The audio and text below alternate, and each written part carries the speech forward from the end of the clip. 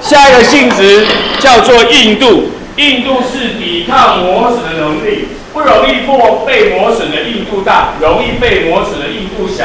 请不要把硬度跟延展性脆不脆搞在一起。玻璃是很硬的，你拿小刀划玻璃，玻璃划不伤，表示玻璃比小刀硬。可是你用力一敲，玻璃就碎掉。敲小刀，小刀不会碎掉，因为小刀有延展性，没有那么脆。这是两个不一样性质，所以今天要把两个性质搞在一块。那个硬度是抵抗磨损的能力。然后有一位大哥。做了一个拿了十个矿物出来，排了一个顺序，叫做模式硬度表。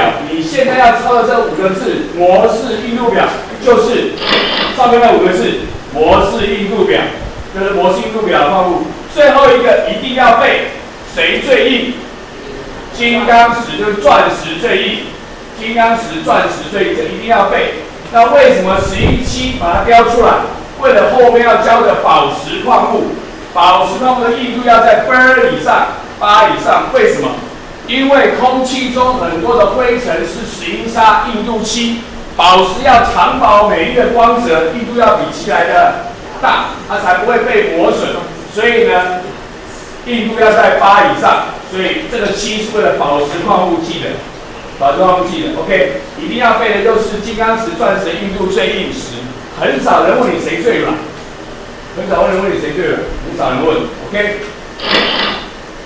我们刚才这个模式硬度表就只是个次序而已。班上随便抓十个人出来，啊，这个最高，那个最矮，可是没有什么第一高跟第二高两个差十公分，第二高跟两个就是没有任何的数学关系，没有任何的数学关系。有数学关系叫做绝对硬度，好像连高中生都没有教，好像连高中都没有教。所以就甭管它了，甭管它了，所以就叫相对的大小而已。然后呢，把两块互相磨一磨，抵抗磨损的能力，被磨的受伤的都是硬度比较小的，两边硬度比较小。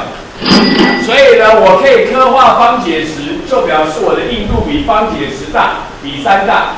可是我会被银石划伤，就表示硬度比四来的小。那我比硬度比三大，比四小，就说借到三到四之间，那有人就会说是三点五，这里就会出现一种题目，我个人认为的好题目，我也会考，段考也会考，可是不晓得为什么大考试就是会考的人都没考过，这好题目为什么不考呢？就是我去做一个实验，我去做一个实验，做完实验以后问你说。谁硬度比较大，谁硬度比较小？谁硬度大，谁硬度小？来做实验来判断，这个不能背嘛，要看实验结果嘛。所以我说是好题目嘛，要理解的嘛。可是不晓得为什么大考试没有考过。所以我跟甲跟乙互相画，画出留下条痕，是要讲什么？讲刚才做那个实验。当我们做实验，问你说这个大数，你要注意。他给的是条纹还是刻痕？我们粉笔画黑板留下什么？条纹，对不对？粉笔条纹，谁受伤？粉笔，谁硬度大？黑板硬度大。可是我如果拿小刀画黑板，留下来叫做刻痕。小刀画黑板留下黑刻痕，谁受伤？黑板受伤，谁硬度大？小刀。所以答案正好怎样？相反。所以你要看清楚，人家给的是。条痕还是刻痕，然后判断谁硬度大谁硬度小。甲跟乙画留下甲的条痕，所以谁受伤？甲受伤，所以的谁硬度大？乙硬度大。那倒过来，如果留下甲的刻痕，那谁硬度大？甲硬度大，你甲可以划伤它嘛？对，就刚才讲过了。做实验，请你判断谁硬度大谁硬度小，你要看清楚。他给的是条痕还是刻痕，你才知道谁受伤，你才知道谁的硬度大。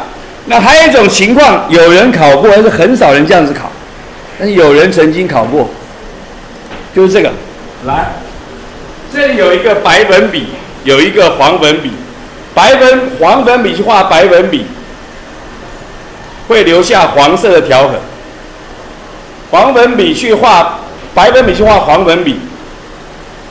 会留下白色的条痕，那请问你这两个谁硬度大？白跟粉笔跟黄粉谁硬度大？一样大，很好，答案就叫做一样大。我们两个如果可以互相留条痕的，谁的硬度大？答案叫做一样大，答案叫做一样大。OK，很有人考过，就很少人这样考，很少人这样考。OK，还有一个情况叫做日常用，不用背。如果考试会考，就会给，要背很好背啊，二到三、三到四、四到五到六到七很好背，可是不用背。是干嘛？野外考察用。你去野外考察的时候，身上不见得正好有带模式硬度表，然后我就拿一些日常生活的东西，然后来判断看一看它硬在多少。所以我就做一个实验。所以考试就说我这样做实验，请你告诉我它硬度多少，表格写给你看。好来，拿过来，指甲画画一画，画不伤；硬币画一画。也画不伤，铁钉画一画，画伤了。那请问你，这玩意儿的硬度有多大？拿指甲画画不伤，拿硬币画画不伤，拿着然后呢，拿那个铁钉画就画伤了。请问你，请问你，它的硬度有多少？二十五二。三到四吗？四三到四吗？一到五，四到五吗？你确定要讲四到五吗？请坐。不是，不是。拿指甲画画不上什么意思？比二到三大。拿硬币画画不上什么意思？比三到四大。拿铁钉画上什么意思？比四到五小。我比三到四大，比四到五小，那我该多少比较？四啊，三到四叫做三点五嘛，四到五叫做四点五嘛，比三点五大，比四点五的，那叫做四嘛，也就是四，这样子。所以你不需要背表格，但是你要会。我如果告诉你我如此做实验，请问你它硬度有多大？你要会。你要会，你要会判断，要听懂吗？一定要背，谁最硬？